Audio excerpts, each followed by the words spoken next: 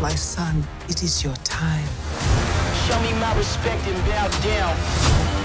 You get to decide what kind of king you are going to be.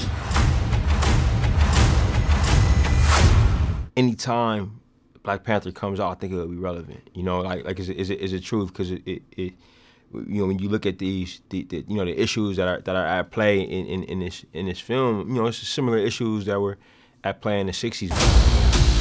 I waited my entire life for this. The world's gonna start over.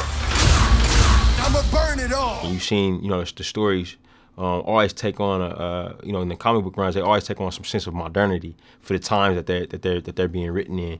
And for us, we, we you know, it's our duty to do the same for this film. You know, for, for, us to put this film in this in this world and say, you know, what would this movie be like? What would what would Wakanda be like if it existed in our world?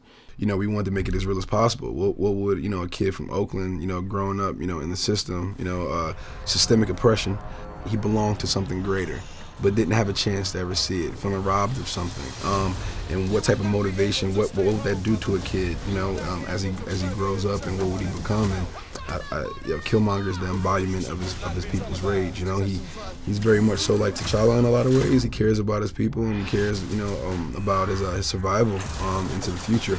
But uh, he has a, a, by any means necessary kind of approach at, at, at getting that done. What happens now? determines what happens to the rest of the world.